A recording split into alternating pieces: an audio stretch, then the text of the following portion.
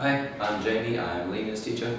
Xin chào, tôi là giáo viên của bạn uh, Lina và tôi tên là Jamie. And you are? À, em là Quỳnh Như, em trợ giảng là trợ giảng của bạn Lina.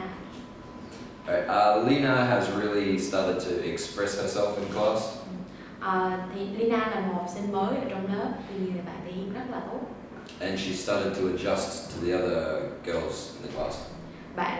Nghi được với lại môi trường mới ở lớp học và bạn rất là hòa đồng với những bạn ờ, học sinh cũ trong lớp.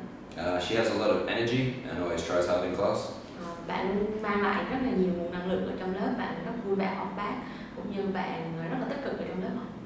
Uh, she's quite funny and she's got a really good personality. Ờ, bạn rất là vui tính và tôi nghĩ là đây là một cá tính tốt của bạn. Yeah, she did really well on the final test. Trong cái bài kiểm tra cuối khó của bạn thì bạn làm rất tốt. There's really small mistakes, but nothing to really worry about. Ờ, bạn chỉ mắc một vài cái lỗi rất là nhỏ, tuy nhiên nó không chiếm ờ, nhiều cái ờ, điểm của bạn và tôi nghĩ là bạn sẽ làm tốt hơn. Yeah, like her writing is really nice. Um, she uses good grammar. It was well written.